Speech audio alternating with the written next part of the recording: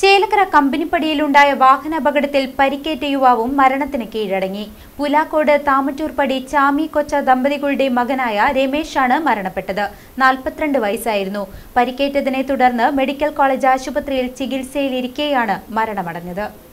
ചേലക്കരയിൽ കമ്പനിപ്പടിയിലുണ്ടായ അപകടത്തിൽ പരിക്കേറ്റ് ചികിത്സയിലുണ്ടായിരുന്ന യുവാവും മരണപ്പെട്ടു. താമറ്റൂർപ്പടി ചാമി കൊച്ച ദമ്പതികളുടെ മകൻ നാൽപ്പത്തിരണ്ട് വയസ്സുള്ള രമേശാണ് മെഡിക്കൽ കോളേജ് ആശുപത്രിയിൽ ചികിത്സയിലിരിക്കെ ഇപ്പോൾ മരണപ്പെട്ടത്. സെപ്റ്റംബർ പതിനേഴിനാണ് കാറും ബൈക്കും കൂട്ടിയിടിച്ച് അപകടമുണ്ടായത്. അപകടത്തിൽ സ്കൂട്ടർ ഓടിച്ചിരുന്ന പുലാക്കോട് ഒടുവത്തൊടി വീട്ടിൽ ഇരുപത്തൊന്ന് വയസ്സുള്ള കാർത്തിക് മരണപ്പെട്ടിരുന്നു. CCV news Chelakkara.